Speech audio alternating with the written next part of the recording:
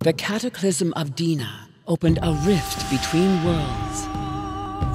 The magic of the Jinn was painted onto our mortal souls.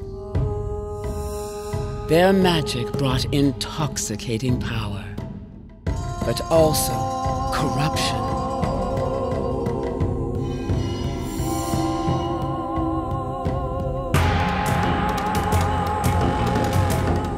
Some sought to enslave the Jinn and lift the city of Bashran up on their backs.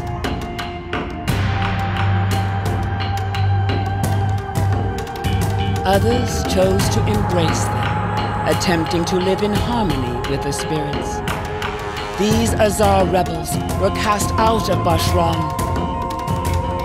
Now, the fight for the destiny of Bashran and the Jinn lies in the bloodshed of arcane warfare.